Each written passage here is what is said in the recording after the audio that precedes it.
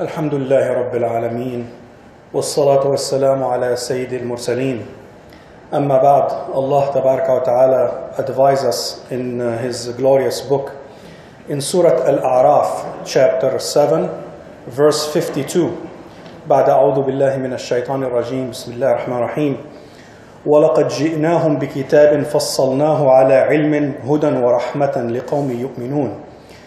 And we had certainly brought them a book which we detailed by knowledge as guidance and mercy to a people who believe.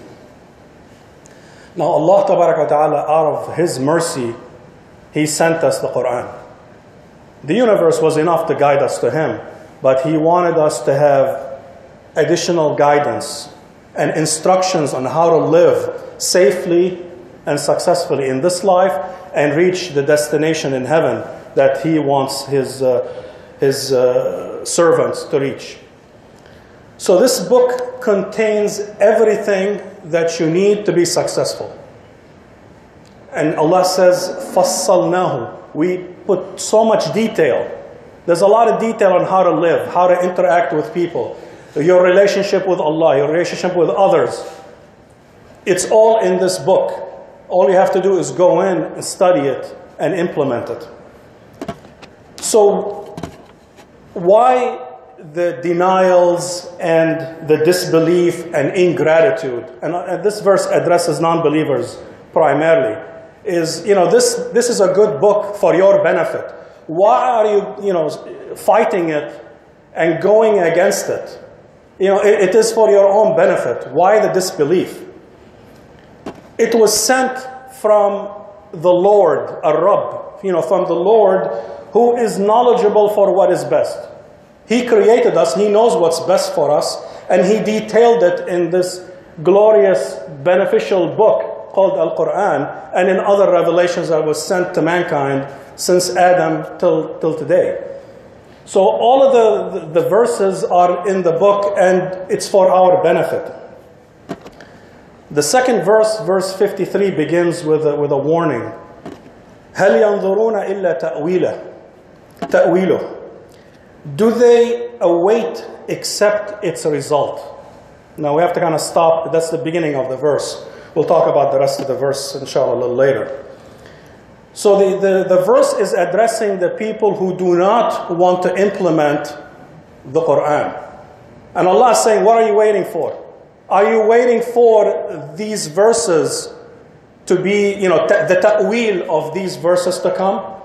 And the ta'wil, the meaning is the materialization of the promises and threats that are in the Quran when they become true.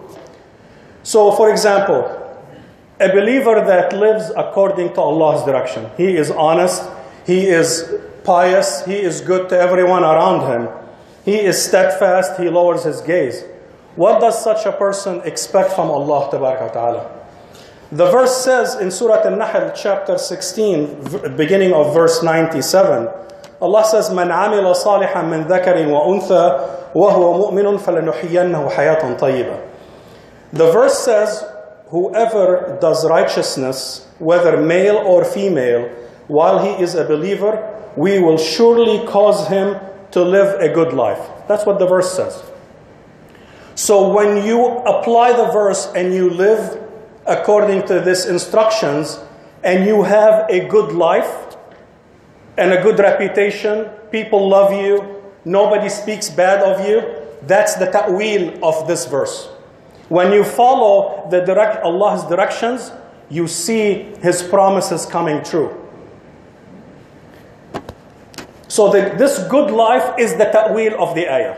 The good life that a good believer lives is the ta'wil of the ayah. So there are no fear of scandals or destruction because you are following the orders of Allah and Allah takes care of you.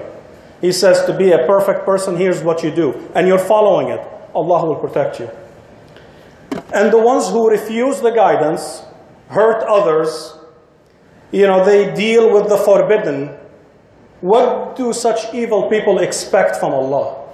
And Allah subhanahu wa ta'ala says in Surah Taha, chapter 20, in the beginning of verse 124, وَمَنْ أَعْرَضَ عَنْ ذِكْرِي فَإِنَّ لَهُ مَعِيشَةً ضَنْكًا Who, and whoever turns away from my remembrance, indeed he will have a depressed life, a difficult life.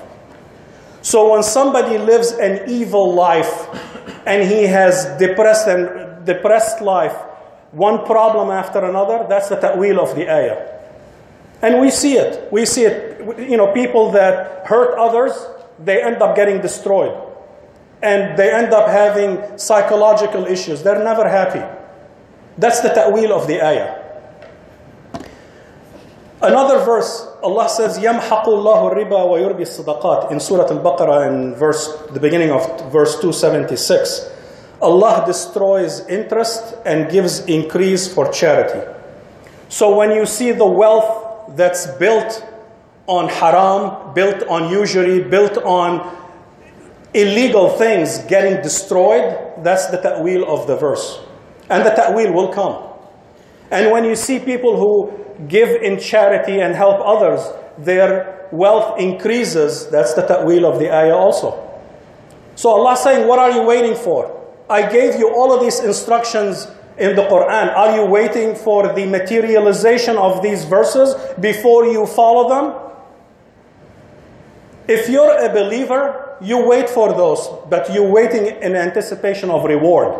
But the ones who go against Allah's directives and hurt others and do things they're not supposed to do, all they have to wait for is Allah's threats and disasters to befall them. And if it's not in this life, it's definitely in the hereafter. But Allah promises them in this life and in the hereafter, they will pay for it. So don't wait for the, for the verses to manifest themselves in reality. Heed the warning and protect yourself. So Allah Ta'ala, the, the rest of that verse in Surah Al-A'raf, هل ينظرون إلا تأويله يوم يأتي تأويله يقول الذين نسوه من قبل قد جاءت رسل ربنا بالحق فهل لنا من شفعاء فيشفع لنا أن نرد فنعمل, فنعمل غير الذي كنا نعمل قد خسروا أنفسهم وضل عنهم ما كانوا يفترون Do they await accept its results? It's like, what are they waiting for? Are they waiting for the verses to come true? The day its result comes, those who had ignored it before will say, the messengers of our Lord had come with the truth. They find out the truth, but it's too late. So, are there now any intercessors to intercede for us, or could we be sent back to do other than what we used to do? This is in the hereafter, when, when people die and they figure out, whoa, we were on the wrong side. Well, it's too late. You can't come back. There is no do over. There is no nobody to, to intercede on your behalf. You're done. Allah gave you enough warnings and you chose to ignore the, the verses, the signs of Allah, and now you'll be forgotten and, the hereafter. It says such people, they will have lost themselves, and lost from them is what they used to invent.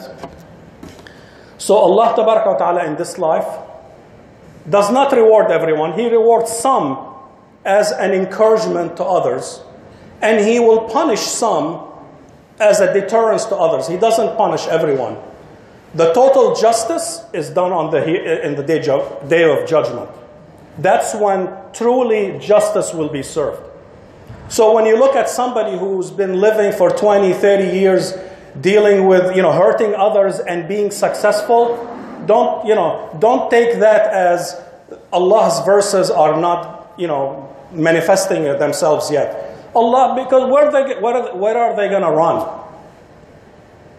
If you, you know, if you know and you're in this country, if you do something bad, you can run to another country where the government can't reach you. But where are you going to go from Allah Ta'ala? Time and place does not matter. You can live a thousand years, a million years, you're still in Allah's grip. Where the end, you're coming back to Allah. That's why he, Allah Ta'ala may give, he, he deals with us with His wisdom. We don't know why some people get destroyed early and some people it may take 20 30 years before they get destroyed we don't know but the verses and the signs of allah will manifest itself either in this life or in the hereafter So we can believe in this life and benefit from it, or find out at the time of death and then you, you know you, you've lost the hereafter. There is, there is no benefit in that knowledge. That knowledge is worthless. So belief in Allah and His verses are, and His signs are just a matter of time. It's not a matter of if. Everyone, every human being will believe in the verses of Allah. The difference is some do it early and benefit from it. Some find out, like Fir'aun, when, when he was dying, he said, Amen, you know, I, I believe in Allah. Now, now uh, when, when, when you see the angels of, of punishment coming at you, that is not, that is not, that's the ta'wil of those verses coming true, but that's too late. So heed the warnings in the Quran before they manifest themselves in reality, either in this life or in the hereafter. Because Allah Ta'ala is al-haq. He is the truth. His words will come true and his promises will come true and his threats will come true. So heed the warning. أقول قولي هذا واستغفر الله ولكم فاستغفروه إنه الغفور الرحيم.